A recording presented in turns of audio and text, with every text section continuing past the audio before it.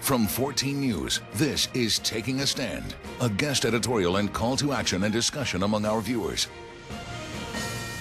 As a lifelong member of this community, I'm proud to see so many positive things happening here in Evansville and in the surrounding area. But we cannot overlook the problems that we must tackle as we strive to build a better tomorrow for our children and our grandchildren.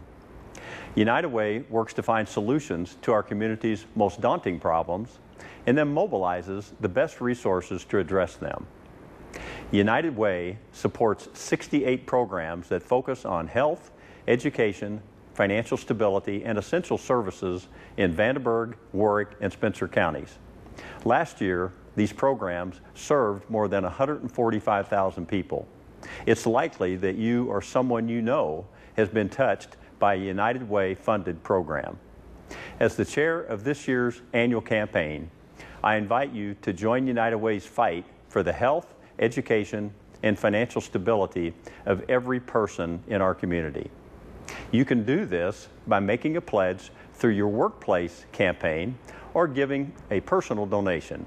Any amount, large or small, will make a difference.